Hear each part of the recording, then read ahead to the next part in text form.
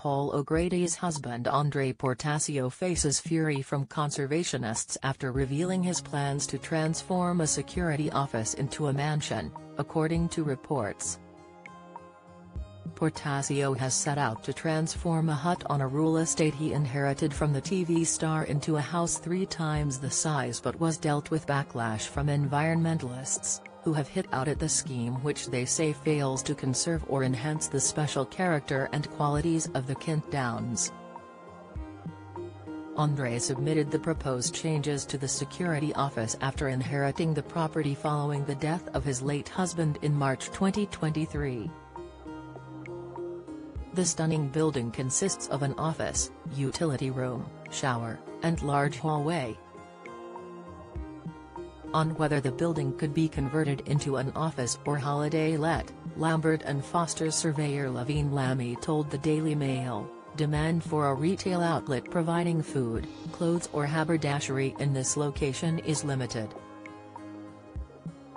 She added, given the remoteness and the abundance of holiday let accommodation, it is fair to expect a significant vacancy void on changing the use to a holiday let.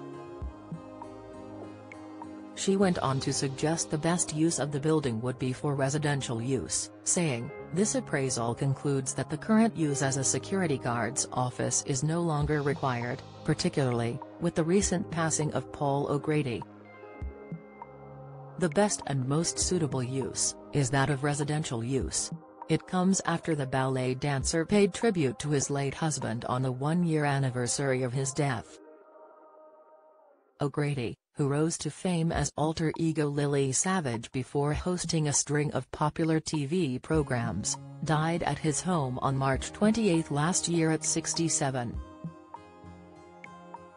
Andre revealed he marked the first anniversary with a solo trip to New Zealand, saying he did not want to be anywhere near my kitchen where I found him, and be reminded of what happened. Speaking to the Mirror last month, he said, he was on wonderful form and then we settled down in the living room and switched on the Natalie to catch up on Kent ITV News. He always insisted on watching the presenter Sangeeta, Bhabra, he loved her and would never allow me to put the BBC on. It was all about ITV. He left to get some tea, and I heard this loud bang. Mr. Portasio said he found O'Grady lying on the floor with a cut on his forehead. The ballet dance said, I called the ambulance and they said the best chance to keep him alive was to do CPR, the former ballet dancer said. I don't know how long it took for the ambulance to arrive, but by the end I was exhausted. At one point, they were like yes, he's breathing. I thought the nightmare was gone but it was very short-lived, and very shortly afterwards they pronounced him dead. Follow Mirror Celebs on TikTok, Snapchat, Instagram, Twitter, Facebook, YouTube and Threads.